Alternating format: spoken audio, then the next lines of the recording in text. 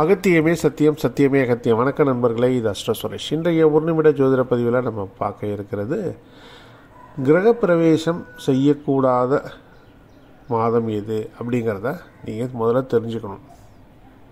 இல்லை ரொம்ப கஷ்டப்பட்டு நம்ம சொத்துக்கள் வாங்குகிறோம் ஆனால் ஒரு சரியான நேரத்தில் அந்த வீட்டுக்குள்ளே போகிறது அப்படிங்கிறது ரொம்ப ரொம்ப முக்கியமான ஒரு விஷயம். சரி இப்போது கிரகப்பிரவேசம் எந்த மாதம் செய்யக்கூடாது அப்படிங்கிறதையும் தெரிஞ்சுக்கணும் செய்யலாங்கிறதையும் தெரிஞ்சுக்கலாம். ஓகேங்களா? சரி இப்போ உங்களுடைய ஜாதகத்தில் செவ்வாய் எங்கே இருக்குன்னு பாருங்கள் பொதுவாக அந்த சொத்துக்கள் கிரகப்பிரவேசம் செய்கிறது எல்லாமே நீங்கள் திருமணம் ஆகிடுச்சு அப்படின்னா மனைவியினுடைய ஜாதகத்தை வச்சு தான் நம்ம அதை பார்க்கணும். சரிங்களா? இப்போ பொதுவாக நம்ம திருமணத்துக்கு பொருத்தம் பார்க்குறதே பெண்ணோடதை வச்சு தான் பார்ப்போம்.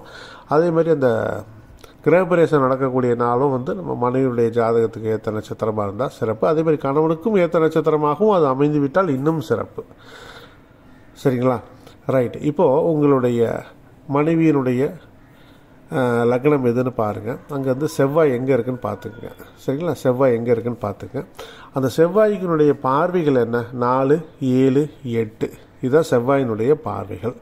அந்த இடங்களை நோட் பண்ணுங்கள் நோட் பண்ணிவிட்டு இது மனைவியினோட ஜாதகத்தில். செவ்வாய் இருக்கக்கூடிய இடத்துலேருந்து செவ்வாயினுடைய பார்வைகள் நாலு ஏழு எட்டை நோட் பண்ணிவிட்டு லக்னத்துக்கு தமிழ் மாதங்களாக அது எங்கே வருது அப்படிங்கிறத பார்த்துக்குங்க.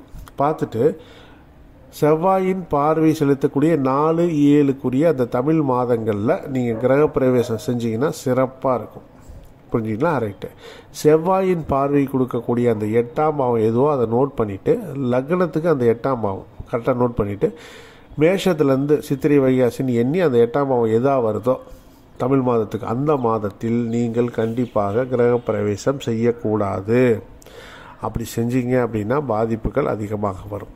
செவ்வாயின் எட்டாம் பார்வைக்குரிய அந்த தமிழ் மாதத்தினை தவிர்த்து விடுவதல் நல்லது கிரகப்பிரவேசத்துக்கு. சரிங்களா?